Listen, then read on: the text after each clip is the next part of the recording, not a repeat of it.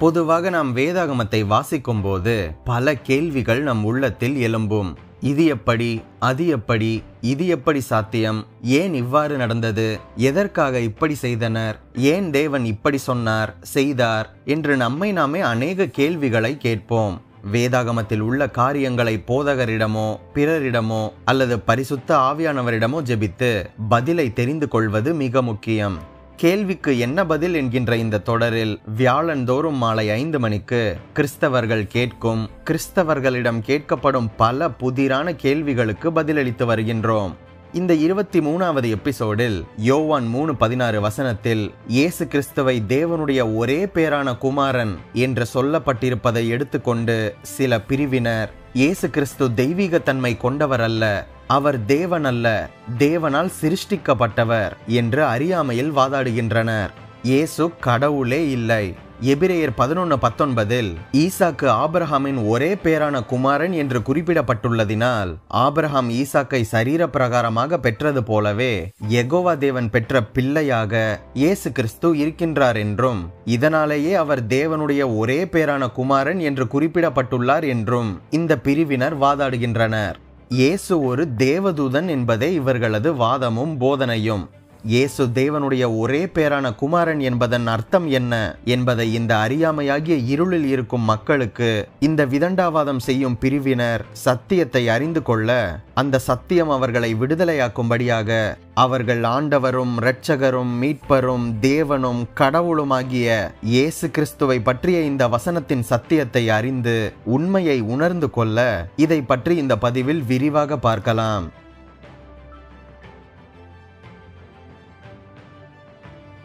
இயேசு தேவனுடைய ஒரே பேரான குமாரன் என்று யோவான் மூணு பதினாறில் மட்டுமல்ல யோவான் ஒன்று பதினாலு ஒன்று பதினெட்டு மூணு பதினெட்டு ஒன்று யோவான் நாலு ஒன்பதில் இயேசு ஒரே பேரானவர் என்று வருகின்றது. ஈசாக்கை ஆபிரஹாம் பெற்றது போலவே தேவன் இயேசு கிறிஸ்துவை பெற்றார் என்றும் ஈசாக்கு ஆபிரஹாமுக்கு குமாரனாக இருப்பது போலவே இயேசு கிறிஸ்துவும் தேவனுக்கு குமாரனாக இருக்கின்றார் என்று இவர்கள் கூறுவது தேவனையே நிந்திக்கின்ற கூற்றுகள் என்று இவர்களுக்கு புரியவில்லையா?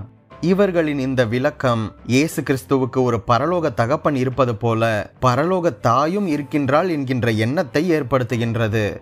எனவே இவர்கள் இயேசு கிறிஸ்துவின் தேவத்துவத்தையும் நித்தியத்துவத்தையும் தெய்வீக தன்மையும் நிராகரித்து எகோவா தேவனை கனப்படுத்துவதாக நினைக்கும் இந்த பிரிவினர் தங்களுடைய இத்தகைய விளக்கங்களினால் தேவனையே நிந்திக்கின்றவர்களாக இருக்கின்றனர்.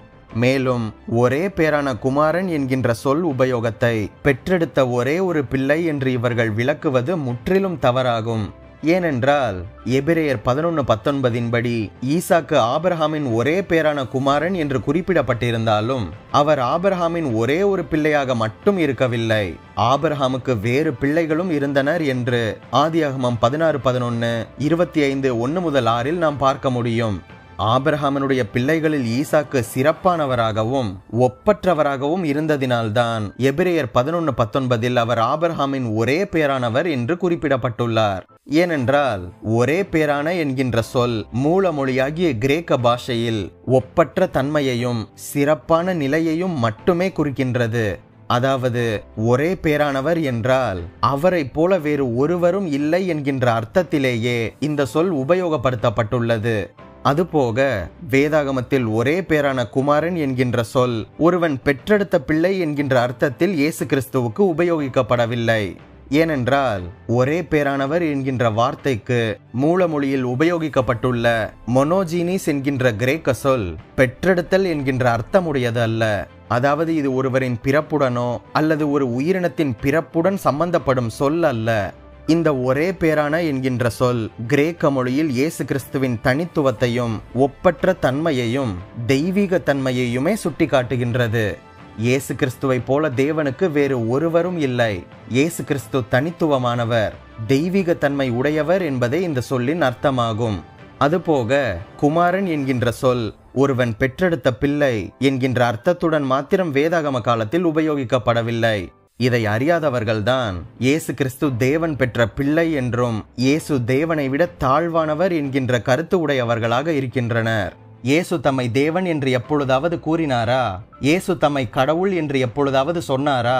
தன்னை வணங்க சொன்னாரா என்று கேட்பவர்களுக்கான வீடியோ லிங்க் டிஸ்கிரிப்ஷனில் உள்ளது. பார்க்காதவர்கள் பின்னர் பார்த்து கொள்ளுங்கள். இயேசு தேவனா அல்லது தேவனுடைய குமாரனா என்று கேட்கப்படும் கேள்விக்கான வீடியோ லிங்க் டிஸ்கிரிப்ஷனில் உள்ளது. பார்க்காதவர்கள் பார்த்து கொள்ளுங்கள். வேதாகமத்தில் ஒருவருக்கு பிறந்தவர்கள் மாத்திரம் அல்ல ஒருவருக்கு பிறக்காதவர்களும் அவருடைய பிள்ளையாக குறிப்பிடப்பட்டுள்ளனர்.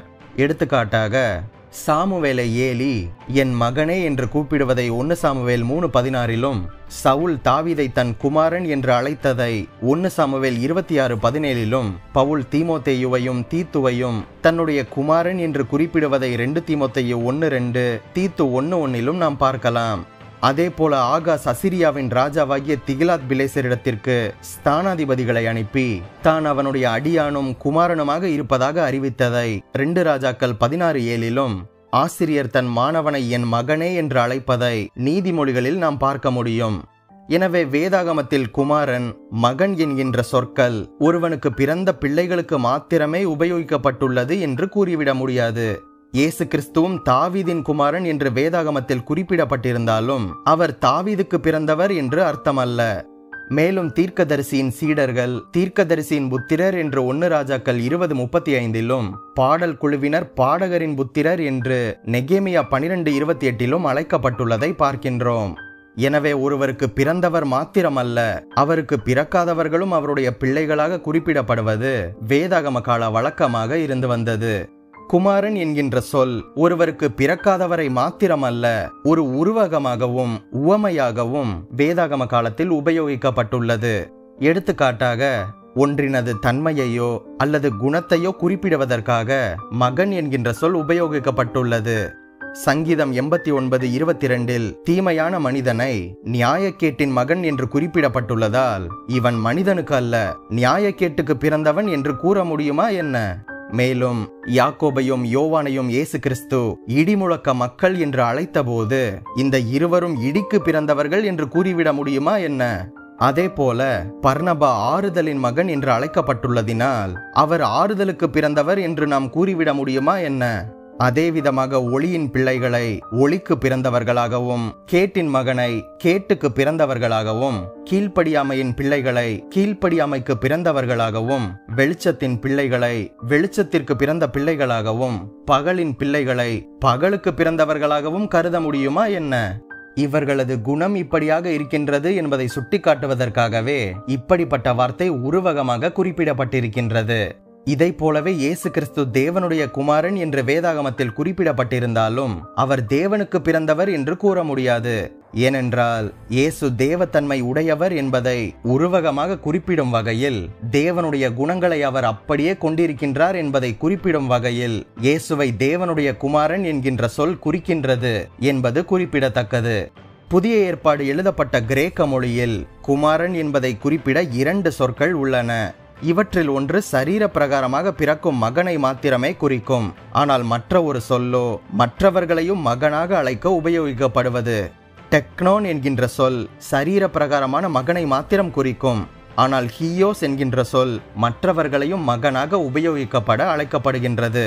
புதிய ஏற்பாட்டில் இயேசு கிறிஸ்து தேவனுடைய குமாரன் என்று குறிப்பிடப்படும் இடங்களில் அது சரீர பிரகாரமான மகனை குறிக்கும் சொல் அல்ல. உருவகமாக உபயோகிக்கப்படும். ஒருவருடைய குணாதிசயத்தை அப்படியே கொண்டுள்ளவர் என்கின்ற அர்த்தமுடைய வார்த்தை உபயோகிக்கப்பட்டுள்ளது. இதிலிருந்து இயேசு கிறிஸ்து தேவத்தன்மை உடையவர் என்பதை குறிப்பிடவே அவர் தேவனுடைய குமாரன் என்று குறிப்பிடப்பட்டுள்ளார் என்பது நமக்கு தெளிவாகின்றது. இதன் மூலம் இயேசு கிறிஸ்துவின் முழுமையான தேவத்துவம் வெளிப்படுத்தப்பட்டுள்ளது. இயேசு கிறிஸ்து தேவனை விட தாழ்வானவர் என்பதை குமாரன் என்கின்ற சொல் எந்த விதத்திலும் நமக்கு காண்பிக்கவில்லை. தேவ தன்மையுடையவராக இருப்பதையே தேவனுடைய குமாரன் என்கின்ற சொல் கிரேக்க மொழியில் உபயோகிக்கப்பட்டுள்ளது. இயேசு கிறிஸ்து தம்மை தேவனுடைய குமாரனாக அறிமுகப்படுத்தியது மட்டுமல்லாமல் மற்றவர்கள் தம்மை இவ்விதமாக அழைத்தபோது அதற்கு அவர் எந்தவித மறுப்புமே தெரிவிக்கவில்லை. மேலும் இயேசு கிறிஸ்து தம்மை தேவனுடைய குமாரனாகவும் தேவனை தம்முடைய பிதாவாகவும் குறிப்பிட்ட போது இயேசு கிறிஸ்து அவரை தேவன் என்று கூறுகின்றார் என்கின்ற அர்த்தத்திலேயே யூதர்கள் விளங்கிக் கொண்டனர். இயேசுவும் அவர்களை தடுக்கவில்லை. அமைதியாகத்தான் இருந்தார். இதனால் தான் யோவான் பத்தாம் அதிகாரத்தில் யூதர்கள் நீ மனுஷனாக இருக்க உன்னை தேவன் என்று சொல்லி இவ்விதமாக தேவதூஷணம் சொல்லுகின்றபடியினால் உன்மேல் கல்லெறிகின்றோம் என்று கூறுவதை பார்க்கின்றோம். இயேசு கிறிஸ்து தன்னை தேவனுடைய குமாரன் என்று கூறியது. தேவனுடைய தன்மையை அவர் கொண்டிருக்கின்றார் என்ற அர்த்தத்திலும் அவர் தேவனாகவும் தெய்வீக தன்மையை உடையவராகவும் இருக்கின்றார் என்கின்ற அர்த்தத்தையும் அந்த கிரேக்க சொல் கொடுத்ததினால்தான் யூதர்களும் இயேசு கிறிஸ்து தம்மை தேவனாக காண்பிக்கின்றார் என்று அவரை குற்றப்படுத்தினர். இதனால்தான் இயேசு கிறிஸ்து நான் என்னை தேவனுடைய குமாரன் என்று சொன்னதினால் நான் தேவதூஷணம் சொன்னேன் என்று நீங்கள் சொல்லலாமா என்று கேட்பதை யோவான் பத்து முப்பத்தி ஆறில் பார்க்கின்றோம். யூதர்கள் இயேசு கிறிஸ்து தன்னை தேவன் என்று கூறுகின்றார் என்பதை விளங்கிக் கொண்டது போல தேவனுடைய குமாரன் என்கின்ற சொல் உபயோகம். இயேசு கிறிஸ்து தேவன் என்பதற்கான உறுதியான ஆதாரமாக உள்ளது என்பது நமக்கு புரிகின்றதல்லவா? ஆகவே இயேசு தேவனுடைய குமாரன் என்று குறிப்பிடப்பட்டுள்ளது. அவர் தேவனை விட தாழ்வானவர் என்பதல்ல. தேவனுடைய தன்மையை அப்படியே கொண்டிருப்பவர். அவர் தேவன் என்கின்ற அர்த்தத்திலேயே அந்த வார்த்தை இருக்கின்றது. ஆகவே இனி இந்த வார்த்தையை காட்டி யாராவது இயேசு கடவுள் அல்ல அவர் சிருஷ்டிக்கப்பட்டவர். இயேசு என்பவர் ஒரு தேவதூதன் என்று சொன்னால் அவர்களுக்கு இந்த வீடியோவை அனுப்புங்கள். நான் எப்பொழுதும் கூறுவது போல தெரிந்து கொள்ள நினைப்பவர்களுக்கு பதில் கூறுங்கள். கமெண்டிலோ அல்லது உங்களிடமோ விதண்டாவாதம் செய்ய வருபவர்களுக்கு பதில் கூற வேண்டாம். அவர்களை இக்னோர் செய்து விடுங்கள். நமது ஆண்டவரும் தேவனும் இரட்சகரும் மீட்பரும் கடவுளுமாகிய இயேசு கிறிஸ்துவுக்கே என்றைக்கும் மகிமையும் துதியும் கனமும் உண்டாவதாக. இயேசு கிறிஸ்து தேவனுடைய ஒரே பேரான குமாரன் என்பதற்கு என்ன அர்த்தம்? என்கின்ற கேள்விக்கு தெளிவான பதிலை கொடுத்திருக்கின்றேன் என்று நம்புகின்றேன். அடுத்த வாரம் வியாழன் மாலை ஐந்து மணிக்கு வேறொரு கேள்விக்கான பதிலை பார்க்கலாம். நம் பைபிள் விஸ்டம் தமிழ் சேனலுக்கு உங்களால் முடிந்த உதவியை செய்யுங்கள். நம் சேனலை உங்கள் கிறிஸ்தவ நண்பர்களுக்கு அறிமுகம் செய்யுங்கள். இந்த கேள்விக்கு என்ன பதில் என்கின்ற தொடரில் முதல் இருபத்தி ரெண்டு எபிசோடுகளை நீங்கள் பார்க்க தவறியிருந்தால் டிஸ்கிரிப்ஷனில் லிங்க் உள்ளது. பார்த்து கொள்ளுங்கள். நீங்கள் ஆசீர்வதிக்கப்பட்டவர்கள்.